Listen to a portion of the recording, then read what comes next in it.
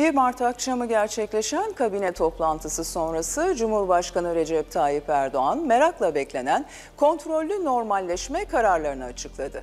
Risk haritasının her hafta günlenceleneceğini ifade eden Erdoğan, her ilimiz salgın tedbirlerinin ne düzeyde uygulanacağını kendisi belirleyecek dedi. Sağlık Bakanlığımız ve onun bünyesinde faaliyet gösteren bilim kurulu 100 bin nüfusa düşen vaka sayısı başta olmak üzere çeşitli kriterlere göre illerimizi sınıflandırdı. Bu değerlendirmeye göre de 81 vilayetimiz düşük riskli mavi, orta riskli sarı, yüksek riskli turuncu ve çok yüksek riskli kırmızı olarak renklere ayrıldı. 1 Mart akşamı gerçekleşen kabine toplantısı sonrası Cumhurbaşkanı Recep Tayyip Erdoğan, merakla beklenen kontrollü normalleşme kararlarını açıkladı. Cumhurbaşkanlığı Külliyesi'ndeki toplantı 3,5 saat sürdü. Erdoğan düşük, orta, yüksek ve çok yüksek riskli olarak dört kategoriye ayrılan illerdeki risk durumuna göre lokantaların açılmasından yüz yüze eğitime, hafta sonu yasaklarından hafta içi kısıtlama saatlerine kadar alınan önemli kararları açıkladı.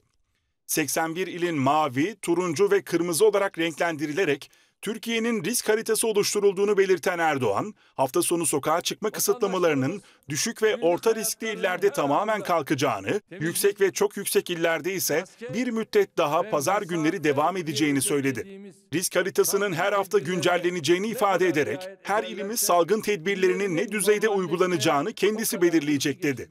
Alınan yeni kararlara göre 100 bin nüfusa düşen vaka sayısı başta olmak üzere çeşitli kriterlere göre iller sınıflandırıldı. 81 vilayetimiz renklere ayrıldı. Her hafta risk durumuna göre değerlendirilecek. Valilikler Başkanlığındaki İl Hıfzı Sıha Kurumu yeni düzenlemeler girecek. İller mavi, sarı, turuncu, kırmızı diye sınıflandırıldı. Tedbirlerin sıkılaştırılması veya gevşetilmesi kararı iyileşme veya kötüleşme durumuna göre verilecek normalleşme adımlarının prensipte nasıl atılacağı kapsamlı görüşüldü. Hafta sonu sokağa çıkma kısıtlaması düşük ve orta riskli illerde tamamen kalkarken, yüksek ve çok yüksek riskli illerde bir müddet daha pazar günü devam edecek. Akşam 21 sabah 5 arasında sokağa çıkma kısıtlaması sürecek. Restoran, kafeterya, tatlıcı, pastane, kıraathane, çay bahçesi gibi yerler çok yüksek riskli iller dışında sabah 7 ile akşam 7 arasında faaliyetlerini %50 sınırlamayla sürdürecek. Kamunun çalışma saatleri tüm Türkiye'de normale döndürülecek.